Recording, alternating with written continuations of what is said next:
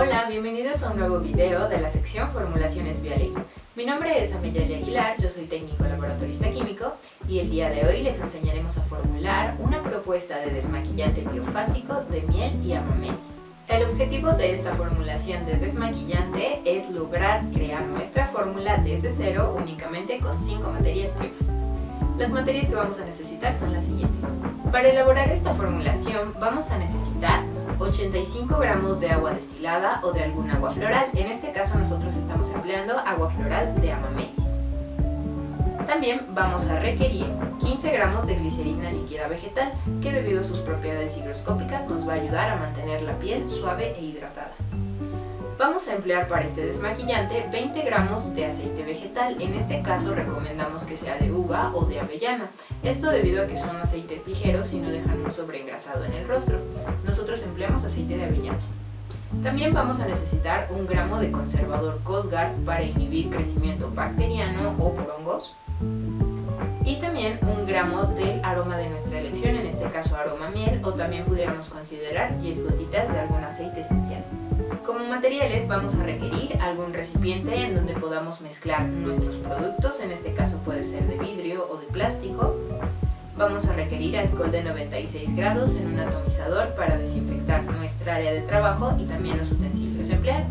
Necesitamos un envase, en este caso es de capacidad de 125 mililitros, y también alguna herramienta que nos ayuda a mezclar todo perfectamente, puede ser de madera, de plástico o de vidrio.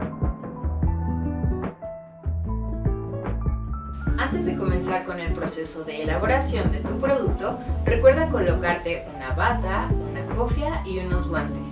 Estos tres elementos conformarán nuestro equipo de protección personal.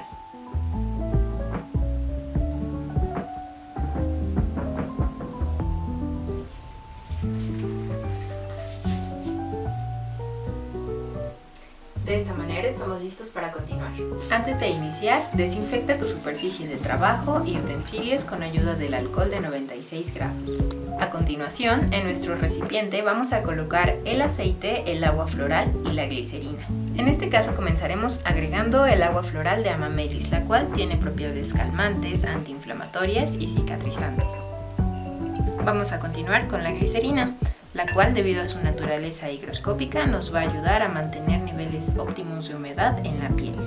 Y finalmente vamos a agregar el aceite, en este caso aceite de avellana, el cual es rico en antioxidantes y nos ayuda a hidratar la piel sin dejar un sobreengrasado.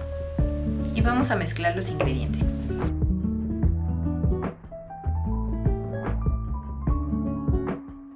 Normal observar que el aceite no se junta con el agua floral de amamelis o tiene una estabilidad parcial.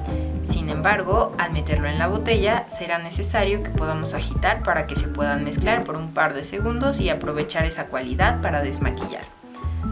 A continuación vamos a agregar el conservador y el aroma, el cual puede ser sustituido por algún aceite esencial.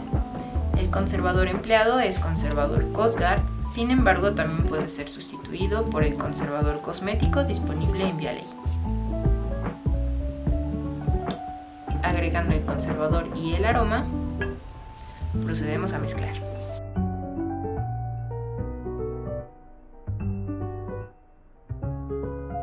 Una vez que lo tenemos todo incorporado, es momento de pasarlo a nuestro envase. Antes de envasar, no te olvides desinfectar el envase con alcohol de 96 grados y dejarlo reposar un par de segundos.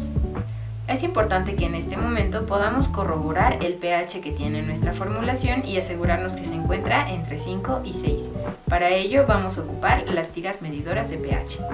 Antes de pasar nuestro producto al envase, vamos a corroborar con ayuda de las tiras de pH que el pH de nuestro producto es ideal para estar en nuestra piel.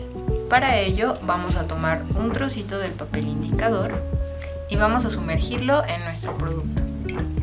Vamos a mezclar un poco para intentar que esté lo más homogéneo posible y vamos a sumergir la tirita.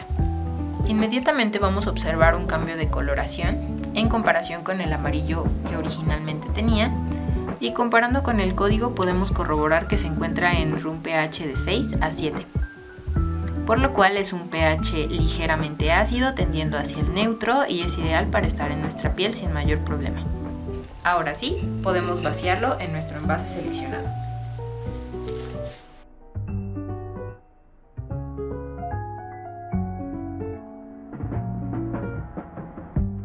Finalmente, no te olvides de agregar una etiqueta en la cual especifiques el nombre de tu producto, algunos de los insumos que contiene y sobre todo la fecha de elaboración y la fecha estimada de caducidad. Debido al conservador que agregamos, nuestro producto tiene un tiempo de vida mínimo de 3 a 4 meses y uno máximo de 8 a 12.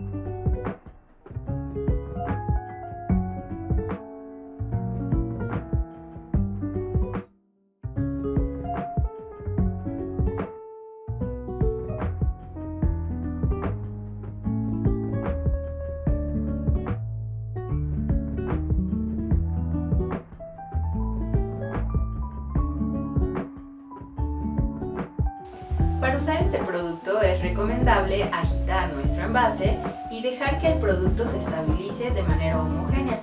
Vamos a aprovechar esta fase de estabilización para colocarlo en un algodoncito y pasarlo ligeramente y con suaves masajes circulares sobre el área de la piel en la cual tenemos el maquillaje que deseamos retirar.